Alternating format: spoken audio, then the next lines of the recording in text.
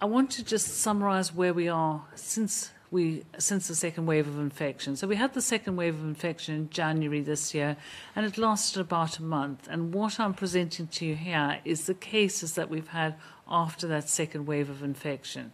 And what you can see currently in the bailiwick today, we have 16 active cases. We had no cases at all yesterday, no new cases, and 17 of those cases are recovered, so we call them um, closed cases, and we've had no, no deaths and no hospitalisation, which is really encouraging.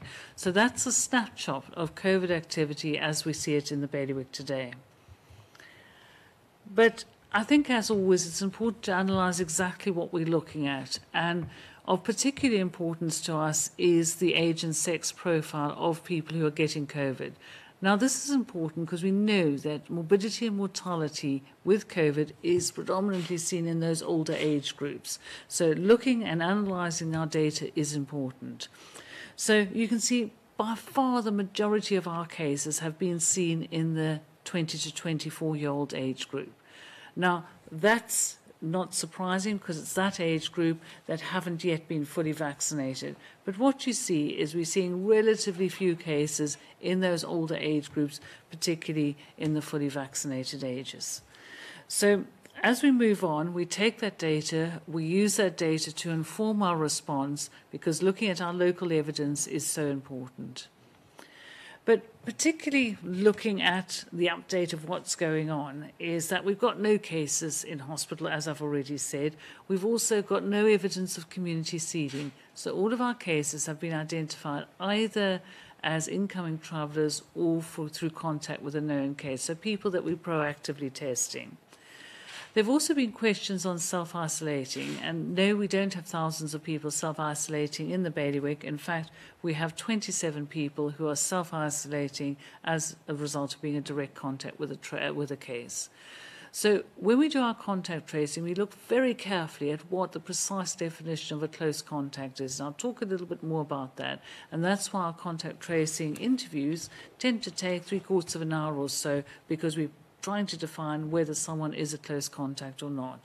And that is of fundamental value in ensuring that we only put appropriate people into self isolation. So, one of the things we've always done, and I know you're always aware of, is our symptomatic testing. So, we've always had a very proactive symptomatic testing policy. And a couple of weeks ago, when I came to the press conference, I said we were expanding the symptoms for testing to include some of the things that were being reported on the Zoe app, which is a surveillance that's done in the UK, as being more prominent in younger people with a Delta infection. Delta variant of concern. And in fact, that included things like runny nose, sore throat, bit of a headache, so it's almost symptoms of a cold. Um, and we've included those into our diagnostic criteria. That, of course, is reflected in more people coming forward for testing, which we welcome. And a couple of days ago, and it's, it's sustained at about that level, we did about 150 symptomatic tests. Now, we know, in addition to seasonal allergies and so on, there are other respiratory viruses. Indeed, other jurisdictions are seeing coughs and colds not related to COVID as well. So we've had 150 symptomatic people. None of those people had COVID. So I think that provides us with important evidence to continue to inform our response. But I think it's also important to link that with a healthy realism. We are moving forward. We need to learn to live with COVID. We will see cases in our community. We may indeed see outbreaks of infection, and that we are expecting, and we are prepared for it. The contact tracing program is fully operational. Our contact tracers are fully trained. We continue to have a bank of trained contact tracers who are back in their day jobs. At a, within a heartbeat, they will join us. Um, we've had huge support from within the states of Guernsey and actually for employers be, from employers beyond the states of Guernsey. And should we need those contact tracers, they will be back with us doing their job. So I think, again, that provides hopefully a level of assurance that all of those programs are still operational.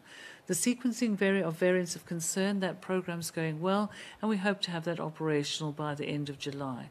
So again, provides us with an additional way of analysing any risk posed to us within the bailiwick.